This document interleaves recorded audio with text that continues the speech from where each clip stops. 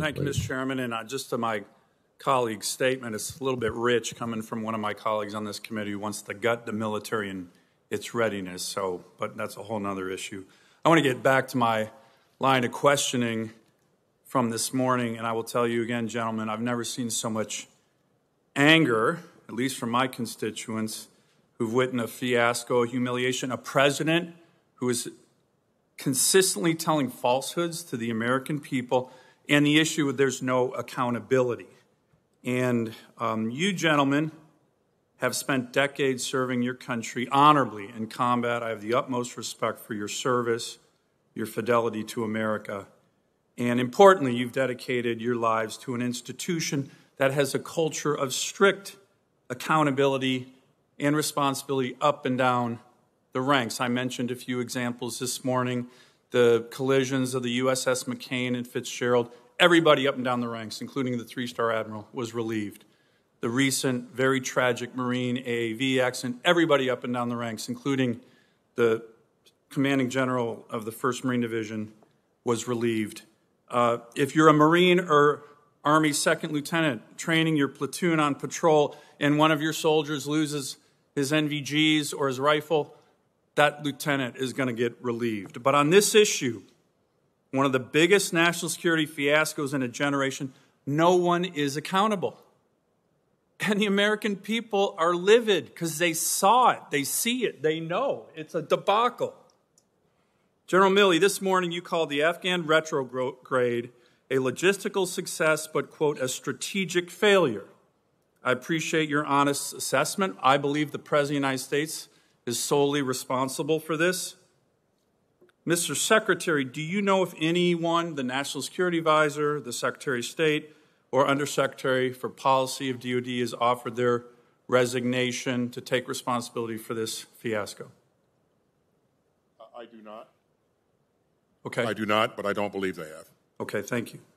Given the military culture of accountability that all of you gentlemen come from, and again, I respect that more than almost anybody, have any of you offered your resignation to the president at any time since his decision to withdraw? And General Milley, I understand your earlier answer to this question that senior military advisors and officers can't resign every time they disagree with the president. I actually agree with that.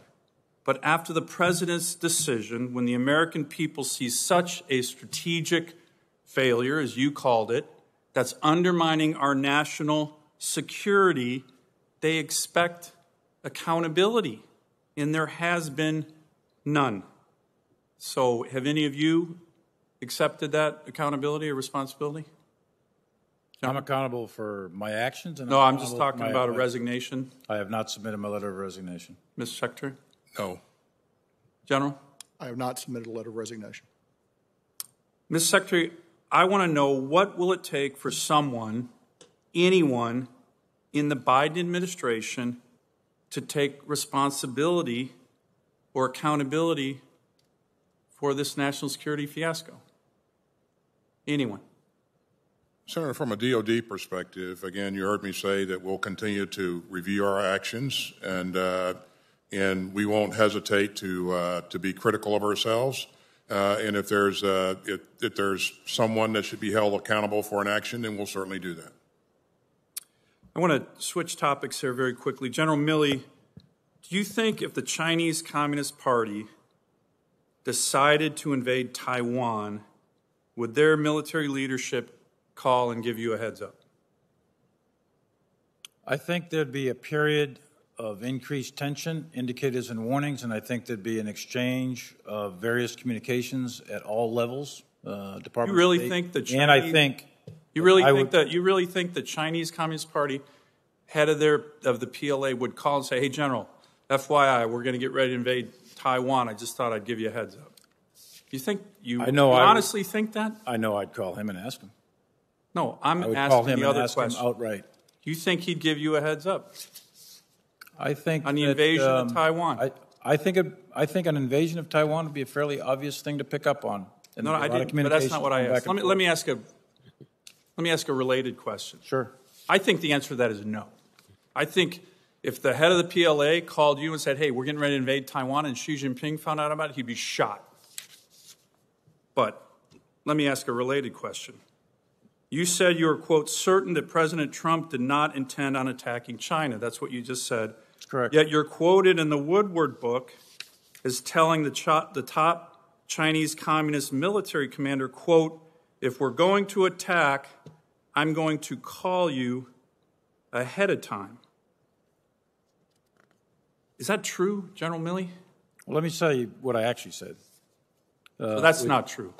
I hope that's Let me tell you what I actually said, Senator.